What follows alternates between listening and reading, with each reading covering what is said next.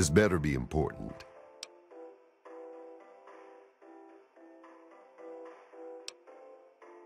Tenpenny is always on time with the money, and we get fairly comfortable digs with side benefits. Watch yourself.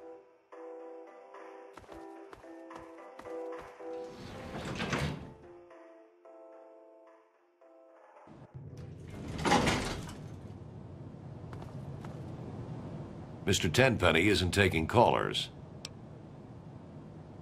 Hold on there a minute. Oh, all right, I'll let you in, but if Tenpenny hollers because he isn't expecting you, you're dead.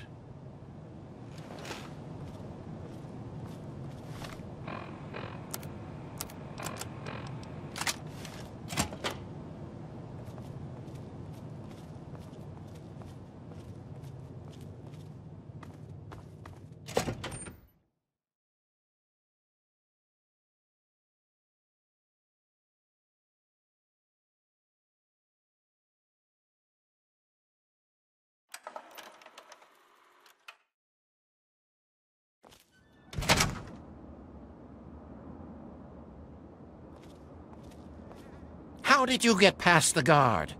What do you want?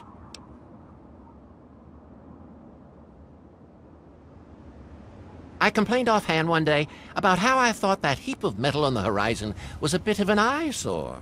Mr. Burke offered to take care of it. Burke is such an agreeable man, isn't he? I don't know how I got along without him. I practically don't have to think about things anymore. He takes care of everything. I seldom even have to ask. He's a real go-getter, that one. We need more men like him if we're going to rebuild the world.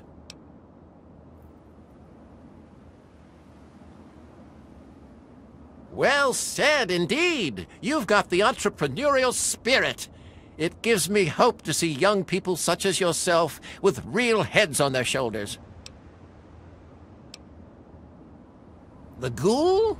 He's dead. Died 20 years ago. Good riddance, too. I hate those shufflers.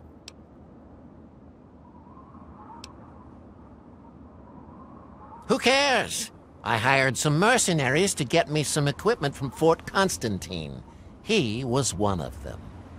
Of the five, only three survived.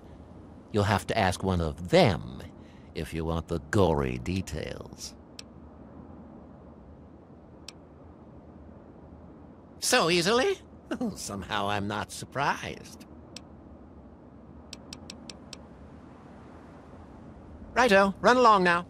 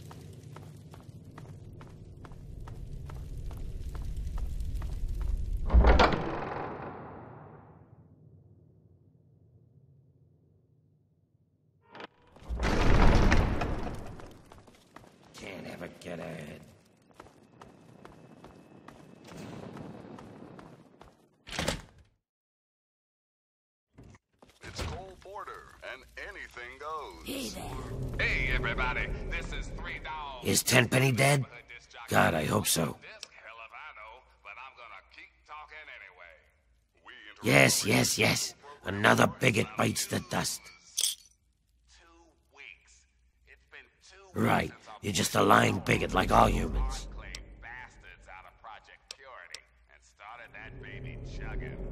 Now, go on, everything. This is President